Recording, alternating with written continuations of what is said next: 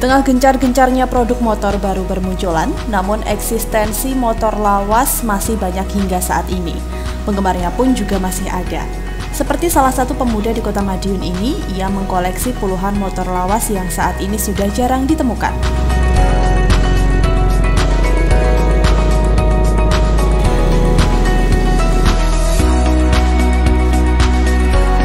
Yayan Aprianto, warga Jalan Doho, Kelurahan Winongo, Kecamatan Manguharjo, Kota Madiun ini. Ia mengkoleksi beragam motor lawas dan antik. Beragam motor lawas ada di tempat ini mulai dari motor sport, bebek, zundap, hingga BSA.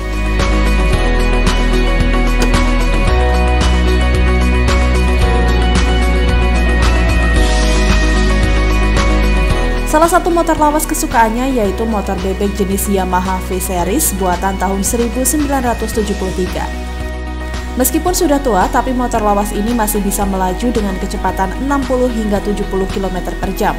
Selain itu, ada beberapa jenis motor lawas yang lain, seperti yang paling tua motor produk Eropa jenis AJS 56, motor produk Jepang Suzuki Free 50cc dan Yamaha V-Series 50cc produksi tahun 1972.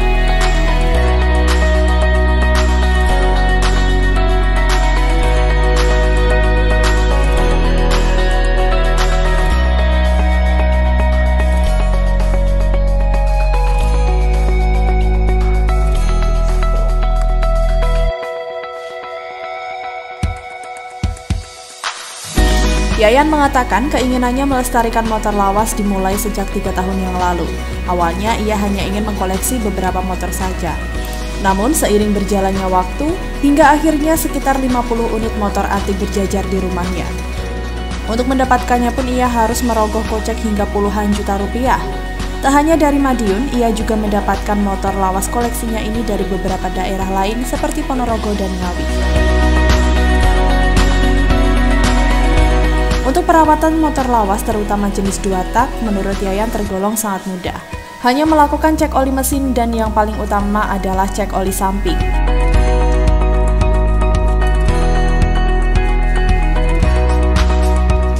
Saya koleksi uh, untuk melestarikan motor-motor dua tak yang mulai apa, punah ini.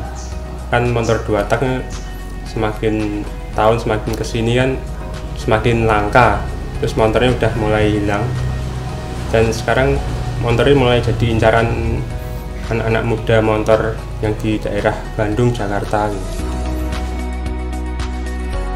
saya dapat motor dua tak paling baik dari daerah eh, Ponorogo, Ngawi, Madiun ada tapi untuk di Madiun sendiri gimana? masih? untuk Madiun populasinya udah mulai berkurang, udah habis. Untuk perawatannya gimana? Mudah? Untuk perawatannya mudah ya. Ya cukup apa cek oli e, dua tak terutama oli samping jangan sampai telat. Terus untuk biaya untuk mendapatkan motor ini kira-kira besar apa? ya. Cukup besar? Lumayan untuk motor dua tak untuk motor dua tak mulai dari 800 ada yang sampai 12 juta. Untuk yang kelas Jepangan kalau untuk yang kelas Eropanan mulai dari 25 sampai 60 juta.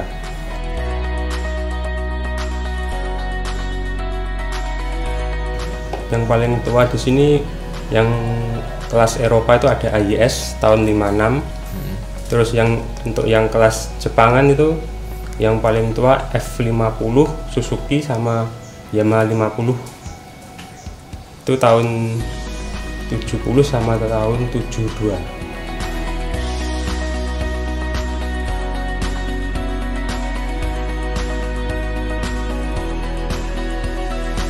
untuk yang koleksi paling jenis yang uh, V series Yamaha. Yamaha. Yang paling tua untuk jenis Yamaha V series? Series yang paling tua di sini ya Yamaha V50 warna hijau.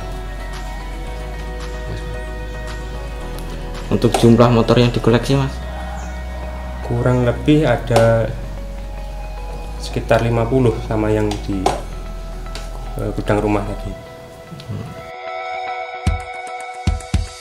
ya sementara ini masih untuk koleksi nanti kalau uh, semakin ke sini harga semakin naik ya lepas. Misalkan ada peminat. Misal ada peminat lepas. Asalkan cocok harganya. Ya, harga cocok lepas.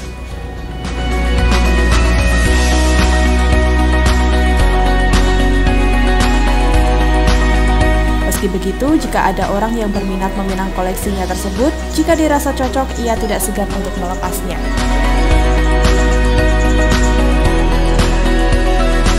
Dari Madiun, Kusnanto, Garda TV.